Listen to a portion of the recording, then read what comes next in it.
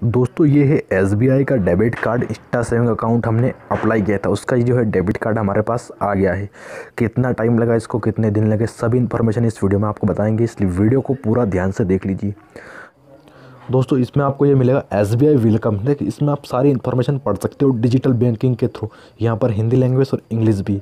और नीचे आपकी जो अकाउंट की डिटेल है, वो आपको यहाँ पर देखने को मिल जाएगी। जितने भी आपका आई कोड वगैरह, जितनी भी इन्फॉर्मेशन है, आपकी यहाँ पर आपको अकाउंट नंबर और जितनी भी इन्फॉर्मेशन है अकाउंट से रिलेटेड वो आपको यहाँ पर नीचे देखने को मिल जाएगी।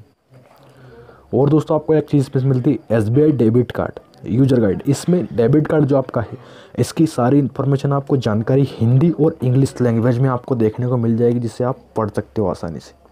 ये इधर बात करें तो इधर इंग्लिश में इन्फॉर्मेशन है, अगर इसको हम बैक साइड में करते हैं तो यहाँ पर आपको इंग्लिश में जो है, यहाँ पर हिंदी में आपको मिल जाएगी।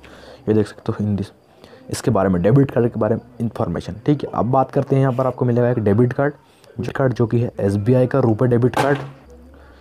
ये इसका डेबिट कार्ड है दोस्तों, SBI classic classic debit card है रुपए। ठीक है, इसमें आप जो है इसको आपको एक्टिवेट करना होगा। इसको एक्टिवेट करने के लिए आप को स्टेट बैंक ऑफ़ इंडिया के एटीएम में जाना होगा फ़र्स्ट टाइम, या फिर आपको इंटरनेट बैंकिंग या फिर योनो एप्लीकेशन से भी आप इसको एक्टिवेट कर सकते हो, इसका पिन बना सकते हो।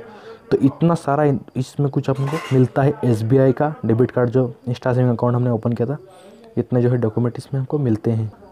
यहाँ पर आप देखोगे तो लिखा भी हुआ है कि एसबीआई क्लासिक डेबिट कार्ड ठीक है? अगर बात करें प्लास्टिक मटेरियल की तो काफ़ी अच्छा है मतलब।